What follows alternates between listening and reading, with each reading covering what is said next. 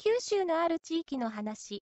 仮だが、エスクという地域の山を越えた、地域の裏エスクって呼ばれてる地域の話。現在では、裏とは言わずに、新エスクって呼ばれてるが、じいちゃんばあちゃんは、今でも裏エスクと呼んでる。まあ、裏というのは、良くない意味を含んでる。この場合の裏は、部落の位置する場所を暗に表してる。高校時代は、部落差別の講義も頻繁にあるような地域。そこでの話。あくまで、体験談で、自分の主観のため、部落差別、童話への差別の話ではありません。今から何年か前に男の子カリニエイが一人行方不明になった。結局自殺してたのが見つかったけど俺はエスク出身者。彼は裏エスク出身者だけどエスクの地域にある高校に通ってた。まあ、彼は友人だった。あくまでだっただ。一年の頃は仲良かった。彼が一人の生徒をいじめるまでは、いじめられたのは俺。周りは誰も止めない。止めてくれないし、見てもない。傍観者ですらなかった。必死にやめてと懇願しても殴る、蹴る。俺は、急に始まったから、最初は、ただの喧嘩と思い殴り合ったが、彼の体格と俺のでは、全く強さが違う。でも、次の日も急に殴ってきた。意味もなく、理由を聞くも答えない。うっすらと笑ってたから、もうとにかく怖かった。ある日いきなり、A が学校に来なくなった。俺はかなり嬉しかった。でも、もう、その状況では、誰も俺に話しかける奴はいなかった。初めての孤独を味わった。多数の中にいるのに絶対的な孤独だった。それから、A が3週間学校を休んだある日、先生が俺を呼び出した。ここからは会話。先生、お前 A と仲良かっただろ？俺、いえ。先生、うん。お前 A をいじめてないか？俺、はい？俺が？それとも A が俺を？先生、いや、お前が。大丈夫。誰にも言わんから言ってみろ。問題にもせんから俺、いや、俺がですか？怒ったのは飛び降り自殺。俺の住んでたマンションから人が飛び降りた。たまたまエレベーターホールでエレベーター待ちだった。俺の耳にギーっていう機械な声と、その数秒後にドーンっていう音。そのドーンという音は、自転車置き場の屋根に落ちたらしいのだが、それを覗き見たときは、本当に吐き気と涙がボロボロ出た。これはただの恐怖心からなんだが、でもいじめに遭っていた俺には、とてつもなく大きな傷だった。これは、本当にトラウマになっていて、今でもエレベーターに乗れなくなった。会社とかにある建物の中にあるやつは、まだなんとか乗れるが、マンションにあるような外の風景が見えるものには全く乗れなくなった。なぜなら、この時に絶対ありえないものを見たから。自転車置き場を見下ろしてた俺が前を向き直した瞬間に、螺旋階段が見えた。そこに下に落ちてる人間と、全く、同じ服で、髪型、これは、微妙で下にあるものとは異なってたようにも見えるの人間が立ってた。これは、多分見てはダメだったんだと思う。螺旋階段を下に向かってゆっくり降りていってたんだ。すごく、ゆっくり下を向いたまま歩いてた。下にあるものと、うり二つの人間が。ここでエレベーターが来た時の合図のピンって音が鳴ったんでびく。てなり後ろを振り向いた。そこにもいた。と思う。多分いたんだろう。でもよく覚えてない。今考えればいたのか？と思うけど、その時はいたって思ってた。ピンの音に振り返った瞬間に、ドーンって再度聞こえたんだ。でも、今度の音はエレベーターの中から、ドーン、ドーン、ドーン、ドーン、って、俺は、もう、発狂状態になってそれから倒れたみたい。すぐに病院に連れて行かれた。見たもの、聞いたものをすべて忘れるように、医者から言われて薬も処方されて、それから、一週間は、うーってうめき声を上げてるしかなかった。一週間過ぎぐらいにはだいぶ良くなっていたのだけど、本当は、親や医者を騙してた。良くなってなんかなかった。むしろ、その時から、その、ドーンって、音は、ずっとついて巡ってた。その後、学校に行こうと思い出した頃に、A の存在を思い出した。俺が、そもそも、こんなことになったのも A のせいだ。あいつが、あんないじめをしなければ、こんな目にも合わなかった。あいつは、俺をこんな目に合わせるような奴だからいなくなればいい。そうだ、この、ドーンっていう音に頼もう。って本気で思ってた。俺は、本当におかしくなってたんだと思う。本気でこの音の主にお願いしてた。次の日に学校に行った俺は、昼休みの時に早退したいと先生に言った。先生も、俺がどういう状況かを知っていたから、すぐに OK を出してくれた。A はその日も休みだった。その帰りがけに、先日部落差別をなくそうという話を学校でしていた講義で、おじさんに出会った。そのおじさんは、A のおじさんにあたり、何度か会って話したこともあった。だけど、そのおじさんが俺を見た後からの様子や態度が明らかにおかしい。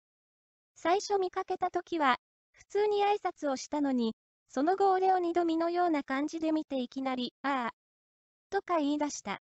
俺は、こいつも、A に何か言われてんのか？って、感じで被害妄想を爆発させて、怪げな態度のこのおじさんを無視して横切ろうとしてた。その時に、急に、そのおじさんが、ブツブツブツブツを今日のようなものを唱え始めた。俺はギョイ。として、そのおじさんを見返した。いきなり、あって、ああなどとわけのわからない態度を取り出し、それだけなら、まだしも、俺にお経を唱えたのだ。生まれて、初めて、自分から人をぶん殴った。言い訳がましいけど、精神的におかしかったから殴ることの善悪は全くなかった。ただ、身を任した感じ。いきなりでびっくりしたのか、そのおじさんもうずくまって、う、って言ってたが、無視して蹴りを入れてた。A の親戚ってだけでもあり、こら、お前らの家族は、異常者の集まりか？人を貶めるように生きてるのか？お膳差別をどうのこうの言ってたが、自分がする分には構わんのか？ああ。なんとか言えや。こら。お前らは、差別されるべき場所の生まれやけ、頭がおかしいんか？って感じでずっと蹴り続けてた。でも、ここで、再度予想外のことが起きた。以下会話。おじさん、はははははははは俺。なんか気持ち悪い。いきなり笑い始めやがって。おじさん、あははははは。お前か、お前やったんか。はははは俺マジ意味わからん。なんがおかしいんか？未だ、蹴り続けてたけど、この時は、だいぶ蹴りは弱くなってる。おじさん、ははは、やっと会えたわ。はははそりゃええも、感化やなははは、何を言ってるのか意味不明。俺はお前ら家族で俺をいじめようてしよったんか？この辺りで怖くなって蹴らなくなってたおじさん。おい、お前がどうしようが、勝手やけど、俺の名前、がいたがるぞ。兄貴は、許しても俺は見逃さんぞ俺は、マジで、お前んとこは、基地が、いの集団なんか？おいおじさん、なになにくん、ちょっと黙っとき。おじさんがいいって言うまで黙っとき。俺、いや、意味わから、どうーん。いきなり、耳元で音が鳴った。俺は、ビクってして振り返ったら、目の前にのっぺりとした細表の顔が、血だらけのままピクピクしながら笑ってた。俺はまた、発狂した。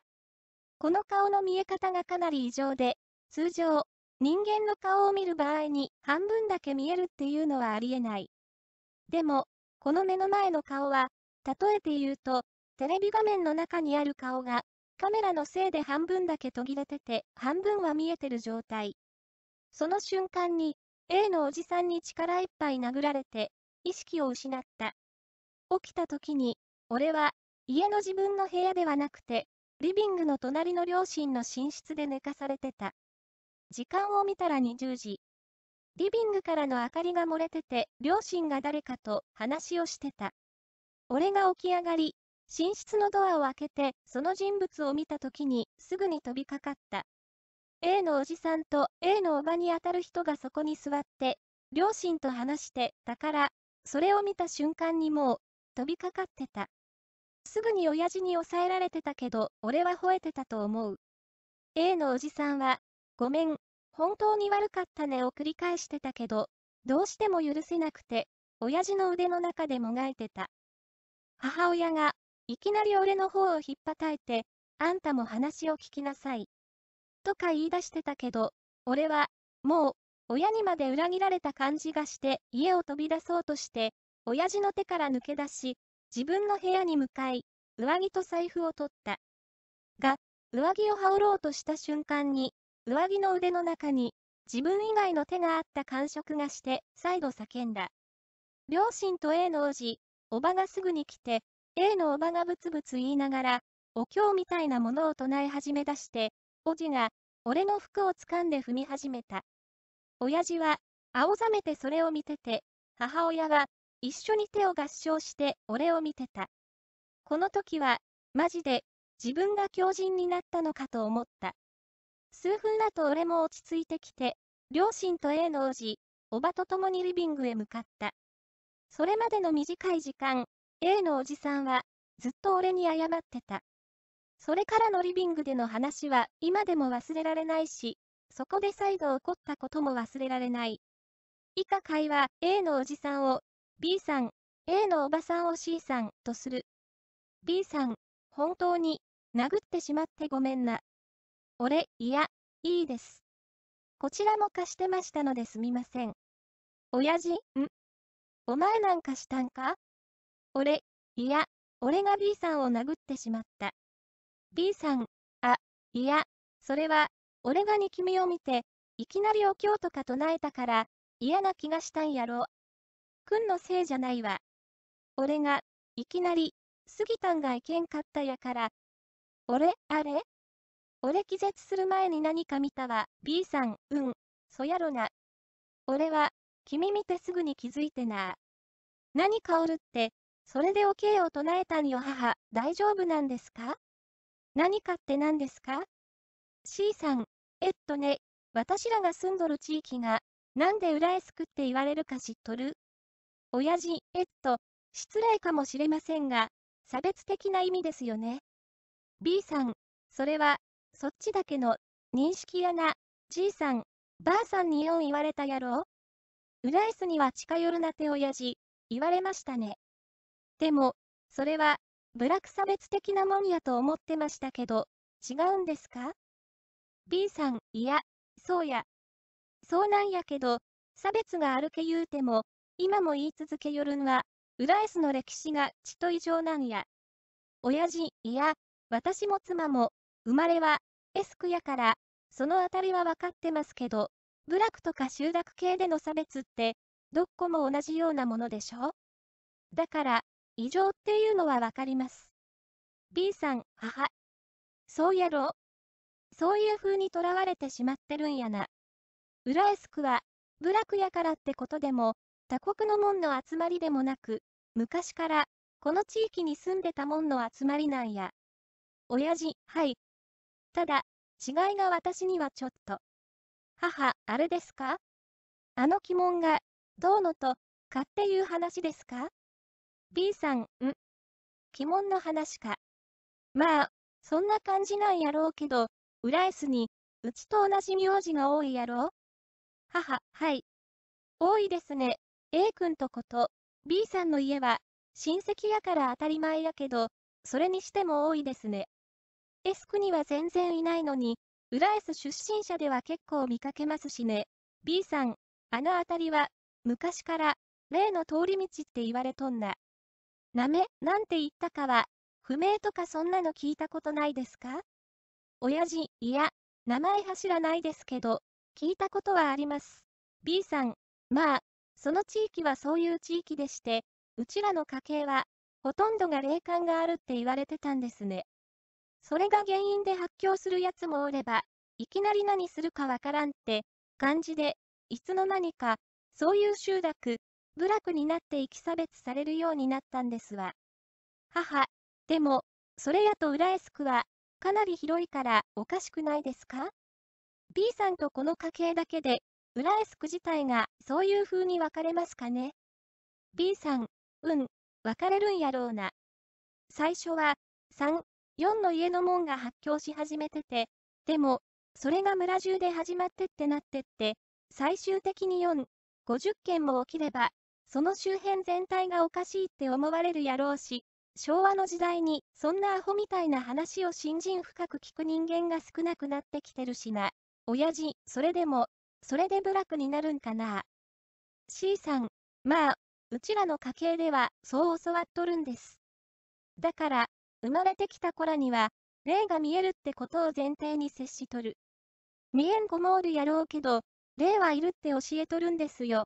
俺、いや、それと俺が体験しとるのと B さんの話と何が関係するんですか ?B さん、君。最近 A の様子がおかしくなかった？いきなり学校休んでるのは置いといて、それ以外になんかおかしいことなかった？俺、最近っていうか、わからん。急に殴りかかってきたりしてたけど。B さん、急に、か、何も言わんかったか？俺、いや、急に。意味わからんし。あ、そういうことか。A が急に異常になったってこと？霊が見え始めて発狂し始めたんすか ?B さん、いや、A はまともや。でも、何をすればいいかわからんかったよ、俺は。まともじゃないっすよ。あいついきなり殴り始めたし、しかも笑いながら。皆怖がって俺を助けようともせんかったし B さん、君、殴られた時に怪我するようなこと受けてないやろ。いや、殴ること自体は悪いことやからかばってるんじゃなくてな。うちの家系での例を見つけた時の対応は笑うことなんよ。やけん、異常者に見られることもあるけど、普通は無視してるんやけどな。母、ってことは、霊がついてたってことですか ?C さん、うん、今も憑いてる。それと、君ベランダに誰か見える？俺、はい。何ですか？ベランダですか？ここで、俺は、気絶する前に見たものとは、別のものを見て発狂しそうになった。C さん、大丈夫。絶対にここには入れんから。親父、え？何がですか？親父には見えてないし、もちろん母にも見えてない。B さん、あ、いえ。それでね、君にはちょっと憑いてるんや。俺、あ、あれか。飛び降りのやつ見てしまったからか。B さん、いや、違うよ。あれは多分たまたま。本当に偶然。でも、その偶然がベランダのやっこで、それ以外についちゃ、ダメなやっこが憑依とる。俺、え ?B さん、うん、それがついちゃダメなんよ。厳密に言うと、霊とかじゃなく、うちの家系で派閥閥って言うんよ。それを言葉には出しちゃダメですよ。すぐ映るから、両親を見て、母、バツバツ、なんて言ったか忘れた。バラなんとかだったけど不明。俺。母、これで私についた件は大丈夫でしょうか ?B さん、いや、そういうもんでもないけど、本当にそれは言わないでください。母、息子が困るのは一番嫌ですから B さん。多分、それをするともっと困ります。俺、もう、やめていいよ。っていうかなんなん？俺が霊に呪われてて、A はそれ見て、俺を殴ってたん？でも、それはおかしいやろ。そんなんします？普通。っていうか、笑いながら殴ったらいいん？霊が追い払えるん？ちょっと困惑しててまくし立てた。C さん、ごめんね。そういう風にしか教えてなかったから、やったんやろうね。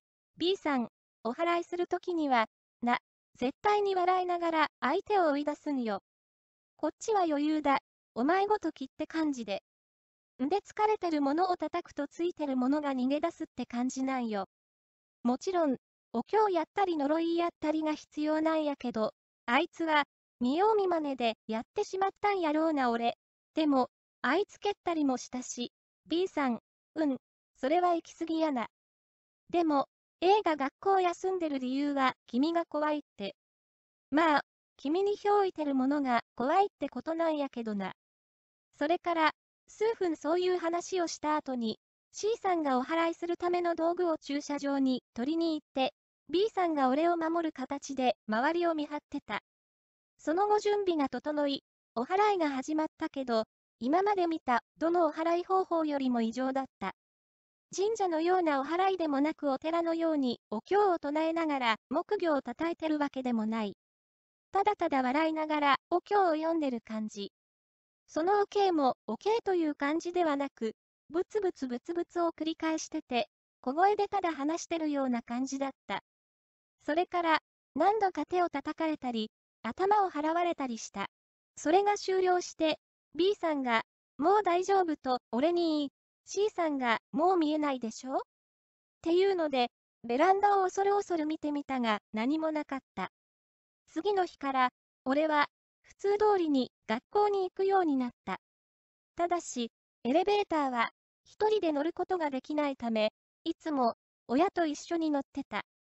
ただし、この日 A に異常が起きたらしく、その日の夜に A がいないんだけど、くんの家に行ってないかという連絡が A の父親からあり、次の日から B さんや A の両親が捜索願いを出して探してたらしいが、家に家出をするといった感じの手紙が置いてあり、家出人の捜索のため、警察が捜索をするということはなかったらしい。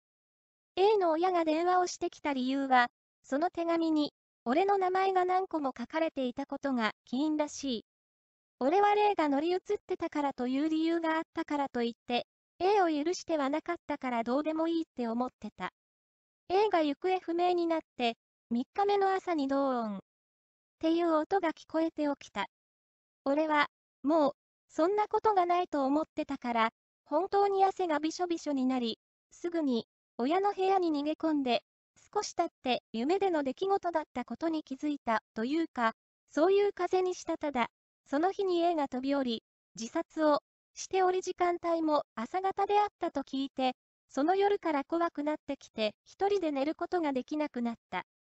遺書が見つかっていることから、自殺で間違いないようで、遺書の中に、俺宛ての部分があり、ごめん、本当に悪かったね。多分、俺らの家系は、部落で、ちょっと頭がおかしい家系が多いんやと思う。自分の家系のせいにしたくないけど、お前を殴ったのは本当に悪かった。ごめん。って書かれてた。それから、その次の夜にお通夜があり、俺も両親と共に行ったのだが、俺はすごく嫌がってた。ただ、親が、一応、供養だけは、しとかな変なことあったら嫌やろ。っていうので、仕方なく行くことになった。お通夜もかなり変わっており、通常のお通夜と違い、家など、なく、その代わりに、紙に、A の名前が書いており、それを、おかんの側面にびっしり貼り付けていて、近づくのも嫌になるような不気味さを漂わせてた。B さん曰く、写真を置くと、写真の顔が変形するんだよ。それを見るのが耐えれないほどの機械なものだから、この地域では、こういうやり方でやるんだ。名前の書いた紙をびっしり貼ってるのは、こいつは A だ。バツバツではないんだ。っていう章なんだとのこと。本当に意味不明。気ややすぎる内容に引いた。その時 A の父親が、俺に話しかけてきて、迷惑かけてごめんね。と A が家出した時に書いた手紙と遺書を見せてきた。遺書の部分は上記の通りだが、この時は本当は見たくなかった。家出をした際に書かれた手紙には、俺の名前にあいつがついてたんだけど、ずっと俺を殺そうと見張ってる。おじさん、B さんのことが、のあいつをお払いしたから、もう大丈夫って言ってたけど、あいつは俺に来たみたい。でも、お父さんは、あいつをお払いできないだろうし、お母さんの家に行ってきます。行く道であいつがついてきたら、他に行ってみるね。とあった。A の両親は、別居中だったため A は、母親方の実家に向かったらしかったが、そのまま行方不明になったらしい。ただ、なぜか警察は家出だと言って行方不明というよりは、家出人としてしか扱わなかったそうだ。それは、本当に見なかった方が良かったって思った。あいつとか書かれてるし、意味も不明なので、その日までの現実離れした出来事をかなり思い出されて、怖さで震えてきた。A の自殺した時間が朝方だったことも、怖さを増して、ここには、痛くないって本気で思った。俺がおかしかったんじゃなく、こいつらが異常だって思った。お経も、なく変な平屋のような場所に棺桶が置かれており、びっしりと A の名前が書かれた札を貼っていて、その挙句、親戚の何人かは笑っているのである。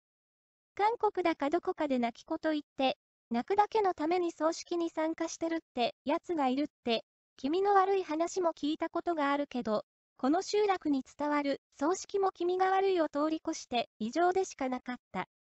うちの両親も、さすがに、この状況は怖かったらしく、もう、帰るかと、挨拶も早々に切り上げた。それから、数日後に、B さんが両親に言ったのが、俺に憑いてたのは、A のおばあさん、つまり、B さんの母親がバツバツになって例だろうけど、そうは言わなかったので憑いてたとのこと。もう、そんな話は、どうでもいいから聞きたくもなかったけど、聞いといてとのことなので聞かされた。飛び降り振り自殺をした人間も、浦安区出身者でバツバツに追いかけられてたこと。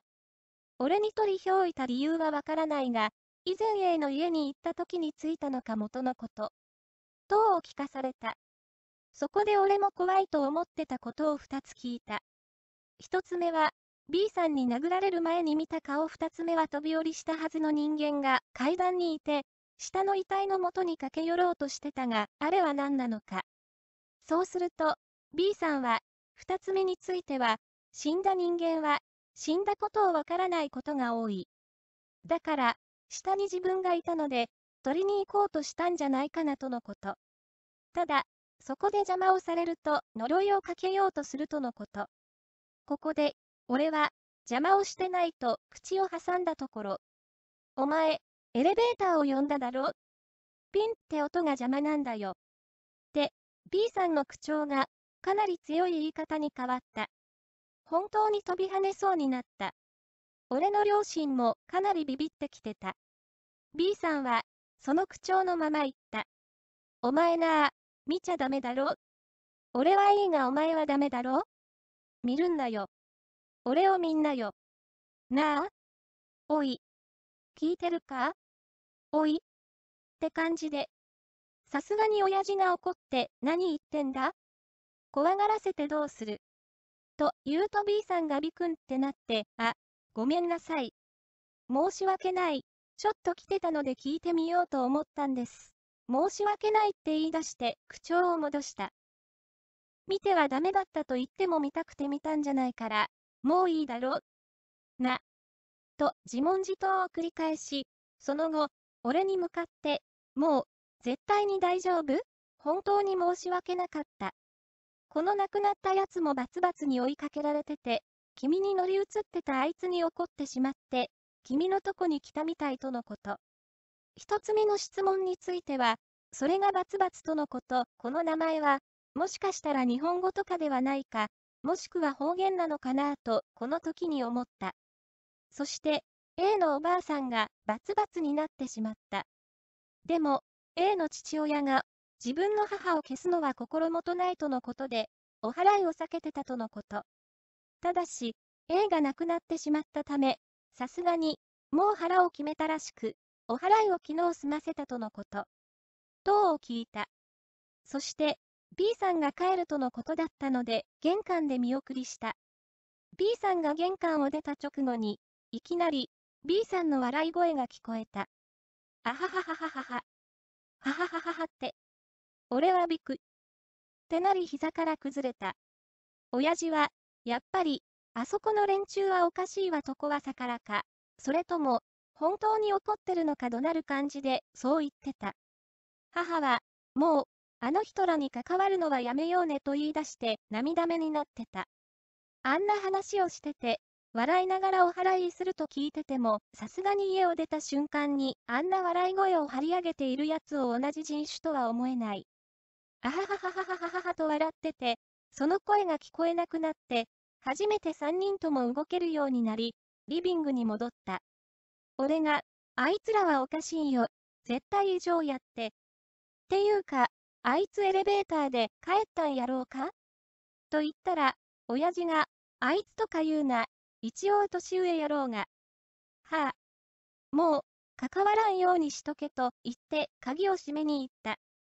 その直後に、早く帰れ。っていう怒鳴り声が聞こえて、心臓が止まりかけた。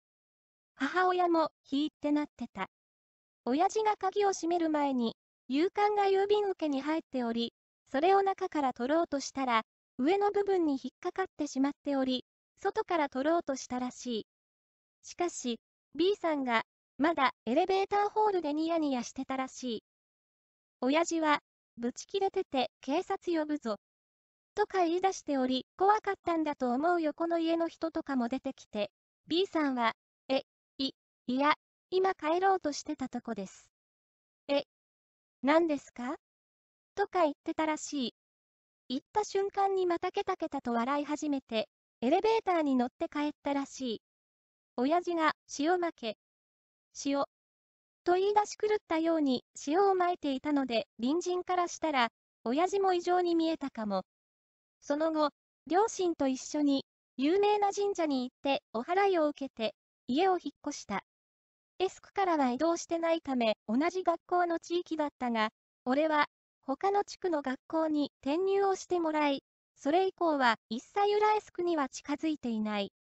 今は、新エスクと名前を変えてるが、地域性自体は変わってないようであり、いとこの通うエスクの学校では、未だに童話教育があって、地域は言わないものの、差別的なことが現実にあると教えてるとのこと。